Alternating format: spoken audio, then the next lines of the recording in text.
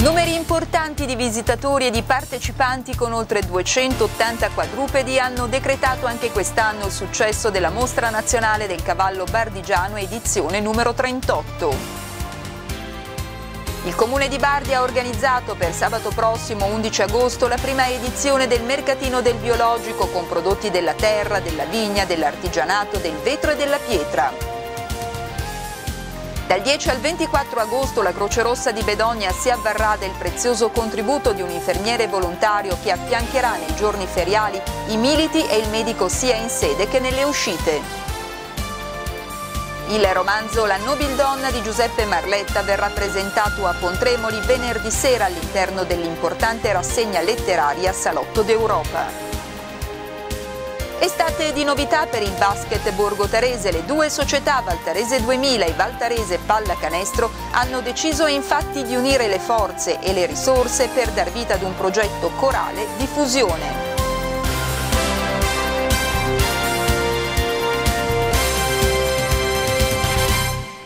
Buonasera telespettatori di RTA, ben ritrovati al telegiornale. 280 cavalli presenti e migliaia, migliaia di visitatori. Dunque riconfermato il grande successo anche per la 38esima edizione della Mostra Nazionale del Cavallo Bardigiano che si è disputato, che si è tenuta per meglio dire lo scorso fine settimana al Lago Monti di Bardi, una manifestazione in forse per molto tempo perché c'era un'agitazione in corso ma poi insomma la buona volontà ha prevalso su tutto e la manifestazione si è tenuta, come vi dicevo, con grandi numeri. Vince la 38esima edizione della mostra nazionale del cavallo partigiano Selvaggia dei fratelli del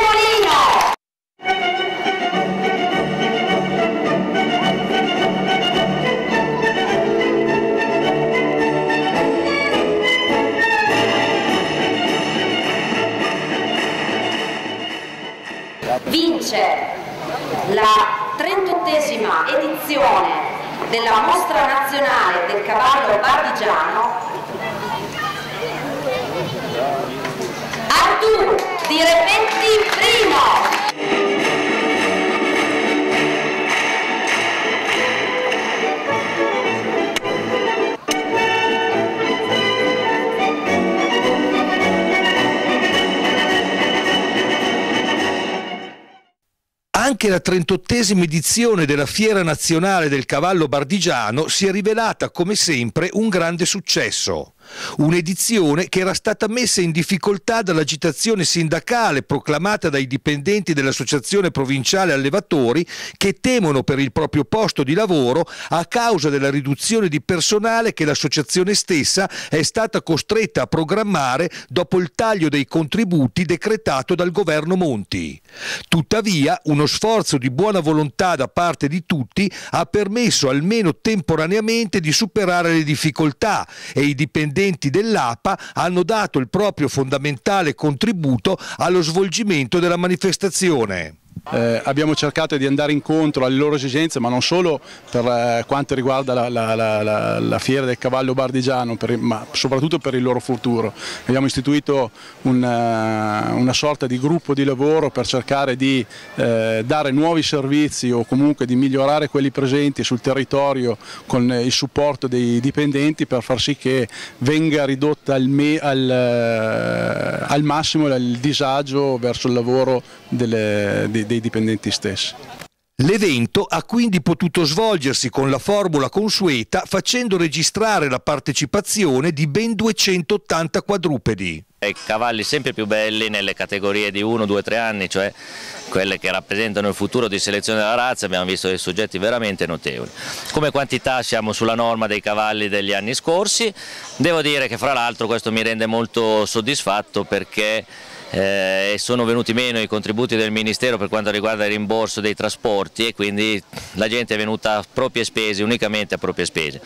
Il fatto che ci sia stata la stessa numerosità di cavalli del, degli anni passati eh, mi, mi rende molto molto felice perché sicuramente anche senza contributi, questa fiera, contributi ai trasporti, questa fiera ha dimostrato di poter raggiungere il numero di cavalli solito e abituale.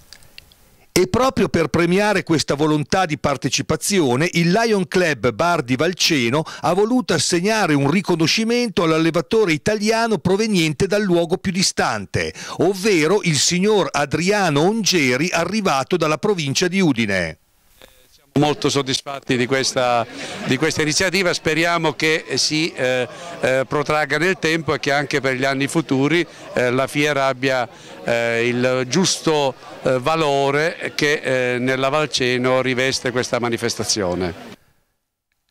Tra il pubblico presente vi erano anche alcuni allevatori tedeschi venuti ad osservare i soggetti migliori della produzione italiana. Ricordo che esiste un'associazione tedesca del cavallo bardigiano, degli allevatori del cavallo bardigiano affiliata a, alla nostra associazione italiana, un'associazione che conta ormai più di 160 cavalli iscritti in Germania e un'ottantina di allevatori. Soddisfazione quindi per la riuscita di una manifestazione fondamentale nella promozione territoriale della Valceno. Bardi rappresenta la capitale di un evento importante come quello dedicato al cavallo bardigiano e il successo di pubblico, il successo di presenze di animali così belli e fieri. Peraltro abbiamo assistito anche a questa rappresentazione della situazione dei ragazzi che fanno parte del bardigiano, sta a significare che veramente è un veicolo questo importante. Certo, un ulteriore modo per radicare la, le nostre realtà ad un fenomeno come questo che è importante, si tratta di continuare sapendo che le difficoltà non mancano, ma in questo caso c'è stata tanta volontà e tanto coraggio da parte degli organizzatori. Organizzatori che hanno saputo allestire ancora una volta tutta una serie di iniziative collaterali molto apprezzate dal pubblico. Abbiamo visto il cavallo bardigiano attaccato alla carrozze, usato nel volteggio, usato nell'equitazione acrobatica, usato nel lavoro in piano, usato nella monta da lavoro, usato con le redini lunghe, insomma tutte le possibili utilizzazioni del cavallo bardigiano che ne fanno proprio un cavallo estremamente versatile ed è uno dei punti di forza dei nostri cavalli. Si può certamente valorizzare questo quest animale in altre opportunità che un tempo ovviamente non erano pensate ma che oggi sono assolutamente utili, necessari e anche indispensabili. Quindi il legame territorio, specificità in questo caso una razza particolare come il bardigiano, sono anche un elemento di volano e di sviluppo per il territorio dal punto di vista turistico e culturale. Quindi sempre le specificità importanti possono essere opportunamente valorizzate e in questo caso è stato fatto e credo che nel tempo si potrà continuare a fare sempre meglio. Archiviata quindi l'edizione 2012 si comincia a pensare non senza qualche preoccupazione a quella del prossimo anno anno. Dobbiamo già tirarci sulle maniche e da settembre lavorare per il prossimo anno che sarà un anno delicato per i vari tagli lineari che continuano continuano a colpire i nostri enti mettendoci sempre più in difficoltà. Questa è, un, è, una critica forte che faccio come piccolo sindaco, eh, però eh, è un momento troppo delicato e vorrei che le alte istituzioni capissero quello che stanno facendo. Rimaniamo a Bardi dove c'è una grande novità da segnalarvi. Il prossimo sabato 11 si terrà infatti la prima edizione del Mercatino del Biologico dalle 9 alle 18 per le vie del paese. Gli organizzatori, tra cui il Comune, l'Associazione Culturale Il Cammino Valceno, lo hanno realizzato pensando ai prodotti della terra e della vigna, in questo caso con il coinvolgimento di alcune aziende importanti, poi il settore alimentare, l'artigianato della pietra, del vimini, del legno e del vetro vetro. Ed ancora artigianato casalingo, vecchi libri di vini e di cucina e infine avremo anche la presenza di musicisti Lilli e Antonio Amadei. Ovviamente eh, gli organizzatori si aspettano una massiccia presenza.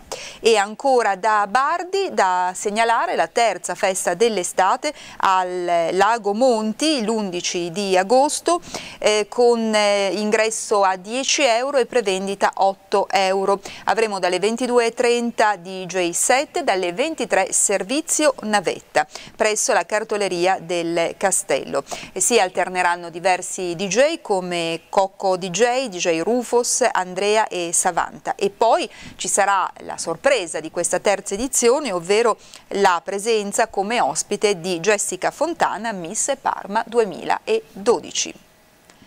Il Festival dell'Opera e dell'Operetta prosegue questa sera a Borgotaro alle ore 21 in piazzetta La Quara con il galà dell'Operetta che presenta Donne, Violini, Champagne. Per Valtaro Summer Music invece appuntamento sempre a Borgotaro come ogni anno da oggi sino al 10 agosto con la masterclass di organo con la maestra Claudia Termini.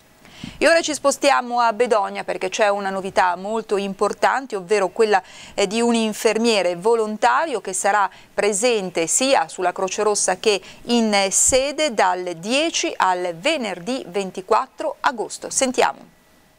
La Croce Rossa di Bedogna festeggia i 40 anni di vita mettendo in cantiere un progetto importante quanto ambizioso, quello dell'infermiere volontario estivo che affiancherà l'equipaggio di emergenza tutti i giorni feriali dalle 8 alle 20, periodo di tempo in cui non è presente il medico di guardia ed i volontari si ritrovano ad operare senza un sanitario di supporto.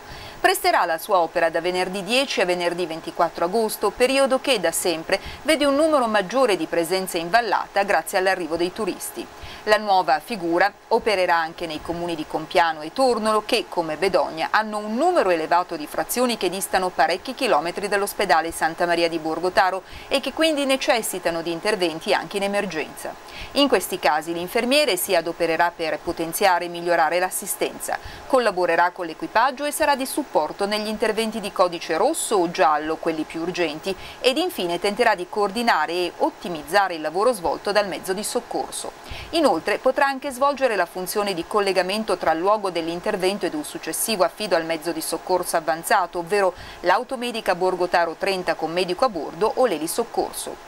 Quando invece sarà in sede aiuterà l'equipaggio della Croce Rossa ed aiuterà anche i volontari nel ripristino dei mezzi di emergenza e nel controllo dei presidi. Il suo ruolo però sarà anche quello importante di educatore sanitario di primo soccorso. Potrà infatti avviare con la popolazione un percorso di questo tipo, un mini progetto che prevederà anche le spiegazioni di come funziona il servizio di emergenza e urgenza del 118 e come utilizzare al meglio Infine sarà una figura importantissima per i volontari poiché sarà disponibile a trattare con loro le difficoltà e le criticità riscontrate nel corso degli interventi effettuati e potrà sanare dubbi e lacune, ripassare esercitazioni pratiche e manovre che durante un servizio molto spesso si devono affrontare. Un infermiere sul campo è in sede dunque che grazie alla sua professionalità affiancata a quella dei volontari e dei medici sarà un valido supporto in più quando è necessario intervenire ed agire in modo veloce e professionale a volte in pochi minuti, preziosissimi e delicatissimi minuti ed interventi che salvano la vita.